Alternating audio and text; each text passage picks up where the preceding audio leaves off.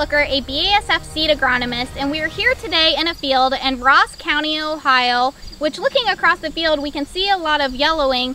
This is all caused by a disease known as sudden death syndrome.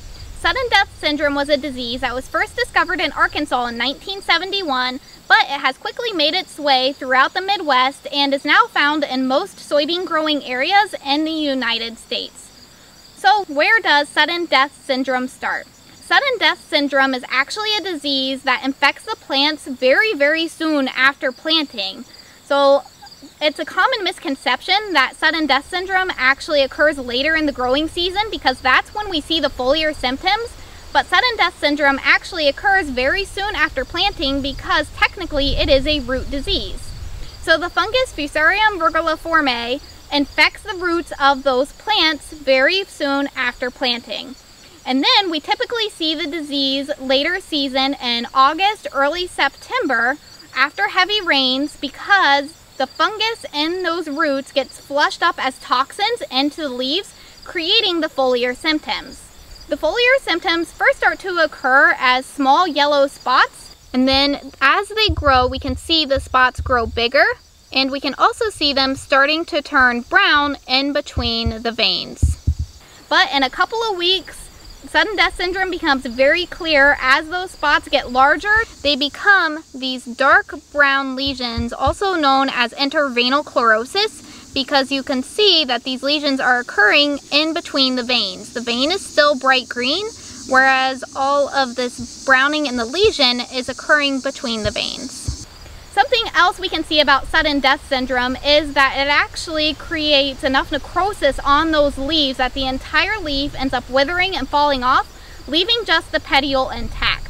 One other sign of sudden death syndrome that we don't see on every plant, but we can see in more severely affected plant, is this bluish whitish growth on the root. Sudden death syndrome typically occurs in congruence with soybean cyst nematode. The two are often found together and having heavier soybean cyst nematode pressure typically means we will see heavier sudden death syndrome pressure as well. This disease can look almost identical to another disease called brown stem rot. Sudden death syndrome and brown stem rot have very similar foliar symptoms, so the easiest way to tell which one you have is by splitting open the stem and looking at the inside of the plant. What we are looking at here is the pith of the plant, which is this very center part. That is called the pith.